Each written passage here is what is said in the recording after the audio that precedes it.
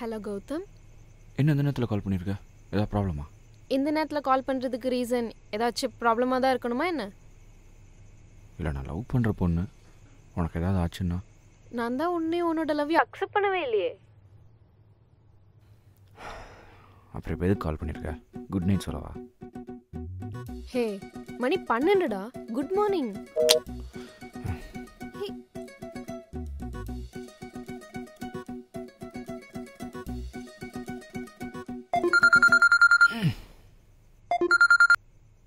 hello hello Gautham இருக்கியா? ம். எங்கள் வீட்டு டெரஸ்க்கு வா. ஆ? உங்கள் வீட்டு டெரஸ்க்கு வரணுமா? ம். அதெல்லாம் முடியாது. ஏன் முடியாது? பாரு. எங்கள் வீட்டிலேருந்து உங்கள் வீட்டுக்கு முப்பத்தாறு கிலோமீட்டர் இந்த நேரத்தில் பைக் எடுத்துகிட்டு வரதெல்லாம் சரிப்பட்டு வராது. அப்படியே ஒரு வேளை நான் வந்தாலும் போலீஸ் செக்கிங்லாம் இருக்கும். மாட்டினா எங்கே போகிற எங்கே வர நூறு கேள்வி கேட்பான். அது மட்டும் இல்லாமல் நீ என்னை லவ்வாக பண்ணுற நான் வரதுக்கு மிஸ்டர் ரோமியோ எனக்கு ப்ரப்போஸ் பண்ணும்போது மட்டும் என்னோட பர்த்டே அப்போ நைட் பன்னெண்டு மணிக்கு எங்கள் வீட்டு டெரஸ்க்கு நீ வந்தல்ல? அதுக்கு காரணம் என் ஃப்ரெண்டு தான். உன் பர்த்டே எனக்கு ப்ரப்போஸ் பண்ணால் நீ அக்செப்ட் பண்ணிப்பேன்னு சொன்னான். அந்த தைரியத்தில் வந்துட்டேன். ஓ அப்படி. அன்னைக்கு உன்னை பார்க்காம இருந்தால் இன்னைக்கு நான் சந்தோஷமாவது இருந்திருப்பேன். என்னைக்கு? அன்னைக்கு ஆஃபீஸ்க்கு ஃபர்ஸ்ட் டே இன்னைக்கு ஆள் எடுத்து வச்ச நாள். அப்போ மட்டும் எனக்கு கண்ணு தெரியாமல் போயிருந்தா. உன்னை பார்க்காம இருந்தால் நான் நிம்மதியாக வாச்சிருந்திருப்பேன். சரி ஓகே. நீ நிம்மதியா இரு.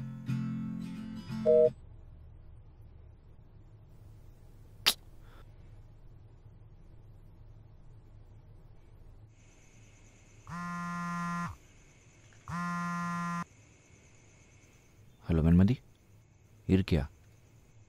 ஹலோ ம். சரி சொல்லு. இப்போ எங்கள் வீட்டு டெரஸ்க்கு நீ வரியா இல்லையா? நீ லவ் கூட பண்ணல. நான் எதுக்கு வரணும் சொல்லு? ஒருவேளை நீ வந்தா உன்னையும் உன்னோட அந்த ஒரு வருஷம் லவ் இருக்குல்ல அதையும் அக்செப்ட் பண்ண வாய்ப்பு இருக்கு. அதை நீ முன்னாடியே சொல்லியிருக்கலாம்ல இப்போ மட்டும் அந்த முப்பத்தாறு கிலோமீட்டர் போலீஸ் செக்கிங் இதெல்லாம் காணாம போயிடுச்சா? அல்ல அதெல்லாம் நேரில் வந்து சொல்கிறேன் பை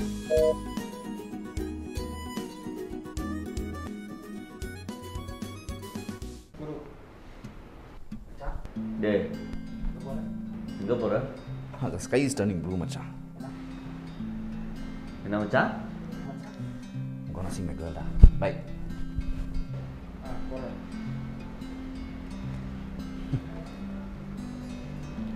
டேய் நீ ஏன்டா சோகமாக இருக்க? அவன் லவ் பண்ண போகிறதுக்கு நம்ம மூணு பேரும் ஒரே ஆஃபீஸில் தான் வேலை செய்கிறோம் சரி. அவன் ஒரு பொண்ணை லவ் பண்ணுறான் எனக்கு அது கூட பிரச்சனை தெரியல. நீலாம் எப்படி லவ் பண்ணுற டேய் என் ஆளுக்கு கொரியன் லாங்குவேஜ் ரொம்ப பிடிக்கும்டா. அதனால அவளுக்காக கொரியன்லாம் கற்றுக்கிட்டு அவளை போய் அட்ராக்ட் பண்ணிட்டேன். உனக்கு எப்படி இந்த கொரியன் லாங்குவேஜ் தான் தெரியும்? டேய் டெய்லிங்க ஒரு ஆப் இருக்குது அந்த ஆப் வந்து ஒரு லாங்குவேஜ் லேர்னிங் ஆப் அது மூலிமா நான் அந்த கொரியன் லாங்குவேஜ்லாம் கற்றுக்கிட்டேன் இல்லைடா இதில் ஜாப் ஆஃபர்ஸ் நிறையா இருக்குது இதில் ஸ்பானிஷ் ஜெர்மன் இட்டாலி இது மாதிரி ஃபார்ட்டி ப்ளஸ் லாங்குவேஜ் இருக்கிறதுனால அதையும் நீ வந்து இங்கிலீஷ் மூலியமாக கற்றுக்க முடியும்.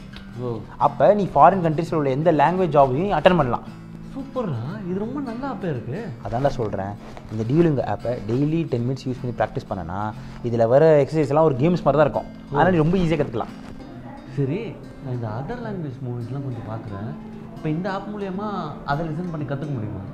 கண்டிப்பாக மச்சான். இதில் மூணு ஆஸ்பெக்ட் மூலியமாக தான் இந்த லாங்குவேஜை லேர்ன் பண்ணுறதுக்கு நம்ம ஃபோக்கஸ் பண்ணுறாங்க என்னென்னா லிசனிங்கு ரீடிங்கு அப்புறம் ஸ்பீக்கிங் இங்கே வா ஏன் ஒரு விஷயம் சொல்கிறேன் இதில் இப்போ பாரு.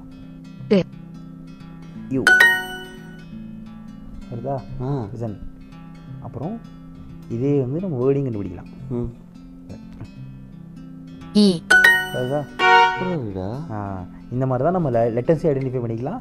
நம்ம லிசன் லிசனிங் மூலியமாகவும் நம்ம இதை கற்றுக்கலாம் சூப்பர்ரா. இது மட்டும் இல்லாமல் இவங்க வந்து ட்ராவல் ஜாப் ஆப்பர்ச்சுனிட்டி இந்த மாதிரி நிறைய விஷயங்களுக்குள்ளார இவங்க சொல்லிக் கொடுக்குறாங்க. ஓ. அதனால இந்த ஆப் மூலிமா நீ நிறைய கற்றுக்கலாம் இன்னும்.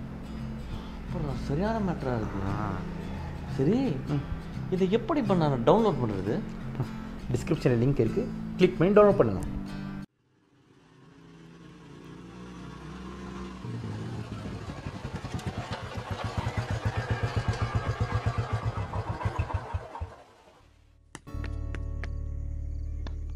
ஹாய் ஹாய்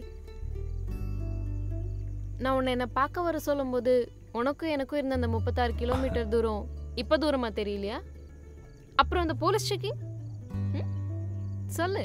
ஏய் அவன் அவன் காதலுக்காக அமெரிக்கா அலப்பேன் போகிறான் முப்பத்தாறு கிலோமீட்டர் உனக்காக நினைக்கும் போது பெருசாக தூரமாக தெரில. அப்புறம் அந்த போலீஸ் உனக்காகன்னு சொன்னேன். உன்னை பார்க்கன்னு சொன்னேன். அவள் தான் எனக்கு எல்லாம்னு சொன்னேன். So the granted me the special permission to see you எங்கிருந்து தான் இப்படி பேச கத்துக்கிட்டியோ? சரி சொல்லு. நான் சொல்றது இருக்கட்டும். நீ சொல்லு. அன்னைக்கு எந்த தைரியத்துல எனக்கு ப்ரப்போஸ் பண்ணேன்னு? உனக்கு அண்ணன் இல்லை. தம்பியும் இல்லை. முக்கியமாக பெரிய மீசை வச்ச முறப்பையன் இல்லை. அதான். அப்புறம்? இப்போ சொன்னல அப்புறம் ஒன்று உனக்குள்ள லவ் வச்சுட்டு அந்த லவ்வையும் நான் தான் வெளில கொண்டு நினைக்கிறேன்ல? அதான். உன்னை லவ் பண்ண தோணுச்சு. எனக்குள்ளேயும் லவ் இருக்கு. ஆனா அந்த லவ்வை யாருக்கு கொடுக்கணுன்றது என்னோட விருப்பம் தானே? அந்த லவ்வை எனக்கு கொடுக்க முடியுமான்னு கேட்குறது என்னோட விருப்பம் தானே? ம். மத்த பசங்க மாதிரி இல்ல நீ. நான் உன்னோட லவ்வை அக்செப்ட் பண்ணாத போது நீ என் பின்னாடி சுத்தவே இல்லை. யார் சொன்னா? என் கண்ணு மொத்தமும் உன் மேலே மட்டும்தான் இருந்துச்சு. நீ வேணான்னு சொன்னதும் ஆயிரம் போர் வீரர்களை கூட்டு வந்து உன்னை தூக்கிட்டா போக முடியும். என்ன? சொல்லு. கரெக்டு தான். நீ ராஜாவும் இல்லை நான் இளவரசியும் இல்லை. நீ இளவரசி தான். சொல்லு. எப்போ உன் காதலை சொல்ல போற? இப்போவும் நான் நோ சொல்லிட்டா?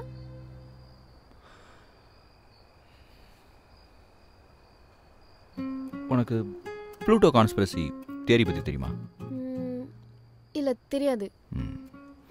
ப்ளூட்டோவில் பத்தாயிரத்துக்கும் மேற்பட்ட ஏலியன்ஸ் இருந்துச்சான் அதுக்கெல்லாம் லவ் பண்ணிட்டு ஜாலியாக தான் இருந்துச்சுலாம் ஆனால் அதில் ஒரு ஏலியனுக்கு மட்டும் லவ்வே செட் ஆகலையாம்.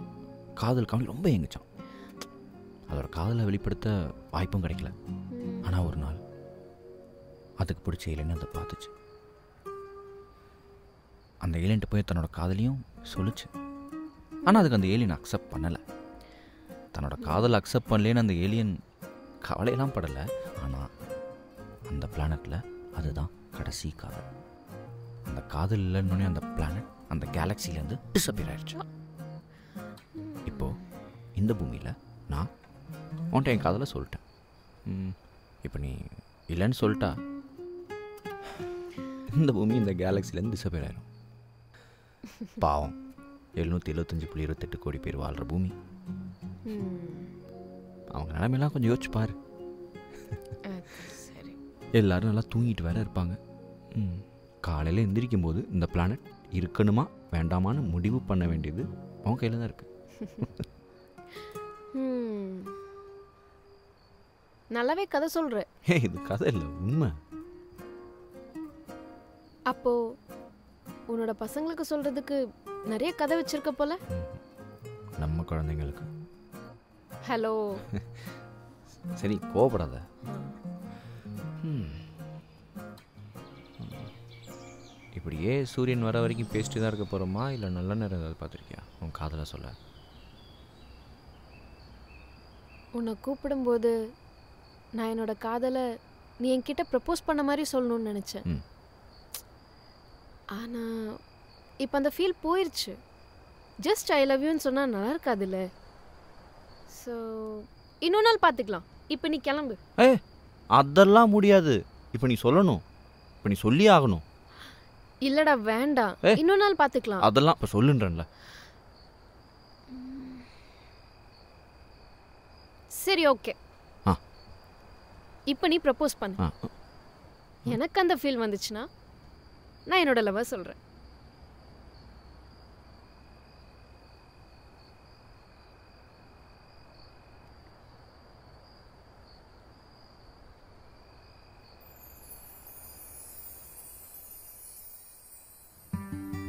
சர்ப்ரைஸ் ஹாப்பி பர்த்டே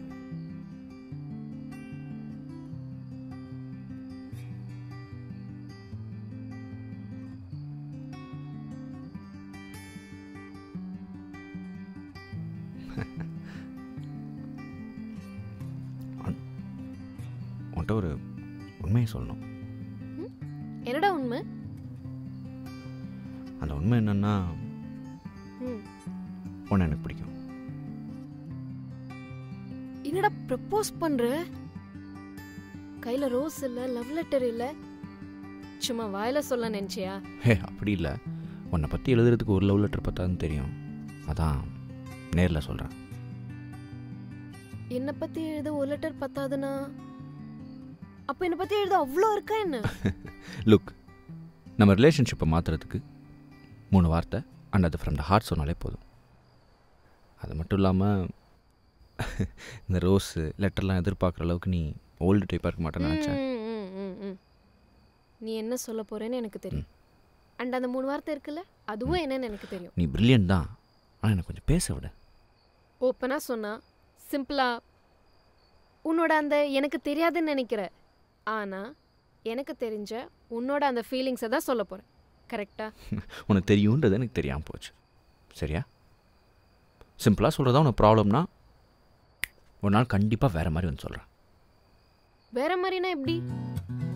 புறா விட்டோ இல்லை உன் ஜாதகத்தை மாற்றியோ எப்படியோ ஏதாவது ஒன்று பண்ணி உன்னை வந்து இம்ப்ரெஸ் பண்ணுறேன் அது வரைக்கும். Bye okay.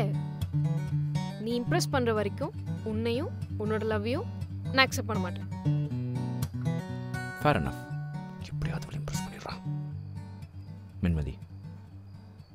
காதல் கதையில் உன்னோட பங்களிப்பு ரொம்ப ஜாஸ்தி.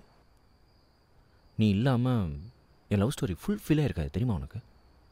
அவன் அவன் அவன் காதலை ப்ரூவ் பண்ணுறதுக்கு என்னென்னமோ பண்ணியிருப்பாங்க ஆனால் என் காதலை ப்ரூவ் பண்ணுறது உன்னோட கண் அந்த கண்ணில் இருக்கிற காதல்.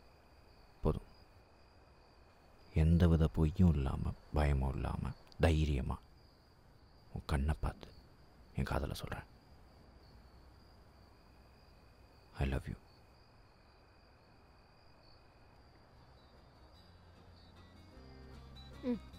ஒரு கதையில் ஒரு பையன் ஒரு பொண்ணை லவ் பண்ணானான் அவன் தன்னோட காதலை சொல்கிறதுக்காக அந்த பொண்ணை ஏழு மலை ஏழு கடலை தாண்டி ஒரு பெரிய ஐலாண்டுக்கு கூட்டிகிட்டு போய் தன்னோட காதலை சொன்னானான் அதை கேட்டு அந்த பொண்ணு சிரிச்சுச்சான் அவன் ஏன் சிரிக்கிறான்னு கேட்டதுக்கு டேய் உன்னோட காதலை நான் இருக்கிற இடத்துல என்னோட கண்ணை பார்த்து சொல்லியிருந்தாலே நான் அக்செப்ட் பண்ணியிருந்திருப்பேன். உன்னோட காதல் தான் முக்கியம். இந்த ஐலாண்ட்லாம் சும்மா அதே மாதிரி அன்னைக்கு உன்னோட காதலை என்னோட கண்ணை பார்த்து சொல்லியிருந்தாலே நான் அக்செப்ட் பண்ணியிருப்பேன். அதுவே எனக்கு போதும்.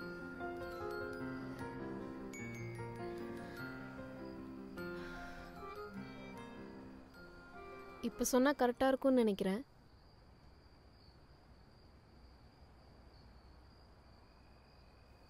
ஐ லவ் யூ அப்போ நான் ப்ரப்போஸ் பண்ணதில் உனக்கு ஃபீல் வந்துருச்சா? அப்படிலாம் ஒன்றும் இல்லை. இப்போ தூங்கிட்டு இருக்கவங்க முழிச்சு பார்க்கும்போது இந்த உலகம் இருக்கணும்ல.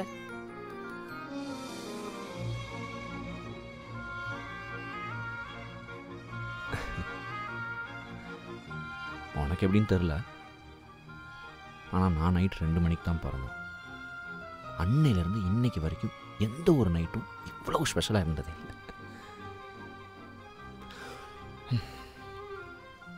இன்னைக்கு தான் ஒன் அண்ட் ஒன்லி ஸ்பெஷல் நைட்டுன்னு நினைக்கிறேன்.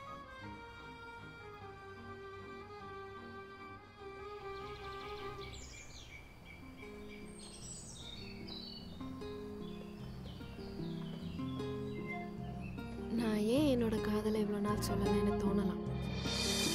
ஆனால் இங்கே எல்லா கதையிலையும்